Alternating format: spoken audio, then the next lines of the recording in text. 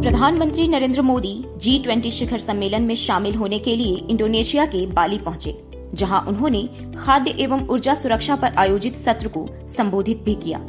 जी हाँ, इससे पहले पीएम मोदी ने अमेरिका के राष्ट्रपति जो बाइडेन और फ्रांस के राष्ट्रपति इमैनुअल मैक्रो से गर्मजोशी से मुलाकात की।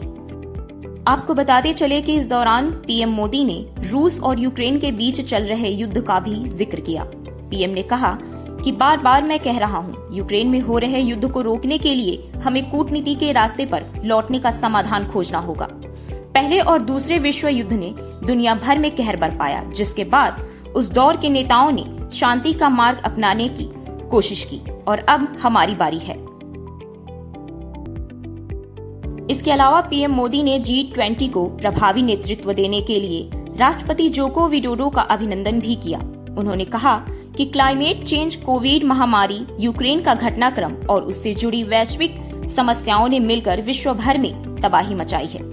ग्लोबल सप्लाई चेन तहस नहस हो गई है और दुनिया भर में रोज़मर्रा की ज़रूरी चीज़ों की सप्लाई का संकट लगातार बना हुआ है।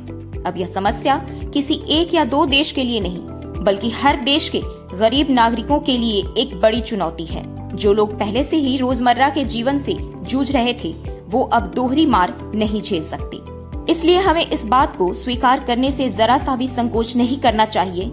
यूएन जैसी मल्टीलैटरल संस्थाओं के साथ साथ हम सभी इनमें उपयुक्त रिफॉर्म करने में असफल रहे हैं। ऐसे में आज जी ट्वेंटी से दुनिया को अधिक उम्मीदें हैं। उन्होंने कहा कि ये समय की मांग है कि हम विश्व में शांति, सद्भाव और सुरक्षा सुनिश्चित करने के लिए ठोस और सामूहिक कदम उठाएँ।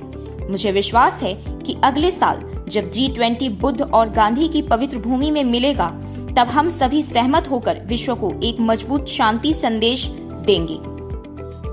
आपको बता दें कि सोमवार को PM Narendra Modi G twenty शिखर सम्मेलन में शामिल होने के लिए इंडोनेशिया के बाली पहुँचे थे। इस जी ट्वेंटी शिखर सम्मेलन में भारत, चीन और अमेरिका समेत अन्य कई देशों के राष्ट्राध्यक्ष भी शामिल हो रहे हैं। खबरों की माने तो प्रधानमंत्री मोदी लगभग 45 घंटे बाली में रुकने वाले हैं और इस दौरान वह 20 कार्यक्रमों में शिरकत करेंगे। साथ ही दुनिया भर के 10 वैश्विक नेताओं से द्विपक्षीय मुलाकात भी करेंगे।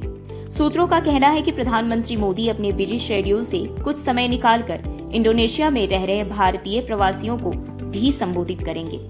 Bureau report, news world, India.